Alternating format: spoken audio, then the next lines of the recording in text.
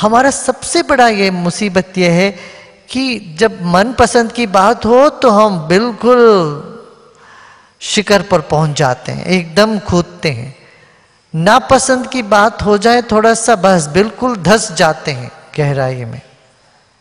सहन कर ही नहीं सकते। इतना ज़बरदस्त पकड़ है हमारा पसंदगी का और नापसंदगी का। किसी को पसंद करते हो, देखो उसके पीछे लट्टू होके रहते हो।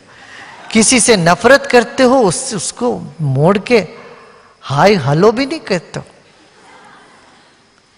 उनको अभिवादन भी नहीं करते नमस्ते भी नहीं करते उससे। इतना नफरत से हम भर जाते हैं। पर आत्मज्ञानी का ऐसा नहीं होता कि ना पसंद हो पसंद हो सब एक तरह से होते हैं सब समान होते हैं सबको अपने झोले में लेके चलते हैं।